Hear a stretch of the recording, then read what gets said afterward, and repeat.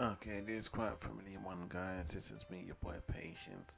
So in this one, I decided to draw my character Jade. I was going to draw in a school blazer, um, just to you know add a little theme to this little profiling. I might do it for a next profile picture, who knows? Um, but what I will do is add a profile picture of Jade every after I don't know maybe five profile pictures, um, just to keep in tune with her. Mainly, she's the main character, etc., etc., etc. but I decided to go back to the bare basics, which is putting her in a jumper. I went over into um, alpha uh, render blue lines um, before putting it into the um, sub render lines um, before putting it into the uh, finished renders. Um, so I had quite a bit of fun drawing this one.